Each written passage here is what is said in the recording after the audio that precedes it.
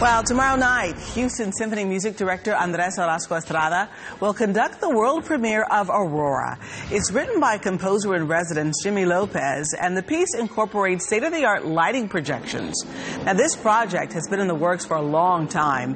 The symphony was originally scheduled to perform it almost two years ago, but that was before Harvey forced its postponement was supposed to be premiered in September of 2017, but then Hurricane Harvey had different plans, and we had to postpone.